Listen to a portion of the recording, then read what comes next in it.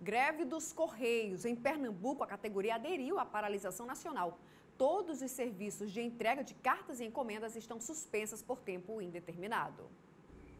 Os servidores dos Correios se reuniram em frente à central de cartas e encomendas no bairro do Bongi, onde o aviso foi fixado na grade, informando que o atendimento ao cliente não estava sendo realizado. A mobilização é resultado de uma assembleia realizada ontem à noite, onde ficou decidida a deflagração da greve. O motivo da greve é que os trabalhadores são contra a privatização da empresa, também estamos na nossa database da nossa campanha salarial, aonde o governo quer retirar ticket de alimentação dos trabalhadores, quer retirar pai e mãe da nossa, da nossa assistência médica. E ainda de acordo com o sindicato da categoria, em todo o estado, 36 bases sindicais entraram em greve.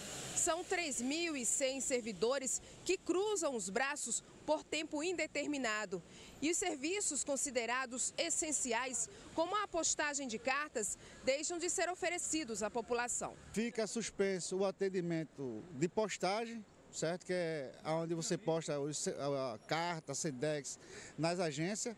É, também o serviço de tratamento e o serviço de entregas, né, que é nos CDDs e no CS. Em todo o estado, existe mais de 160 agências do Correio, os trabalhadores hoje estão em greve. Seu João já está sentindo o reflexo da greve. Ele veio até os Correios para pegar 10 quilos de ração, que já chegaram do Paraná, mas nem sequer foi atendido. O aposentado teme que a encomenda se estrague. Eu tenho que levar essa mercadoria que é, é, a ração dos animais, pode até estragar se aí dentro e rato comer, como já aconteceu, de o rato furar aqui mesmo, furar a mercadoria, chegar lá e entregar com, com o buraco do rato que furou e estragou.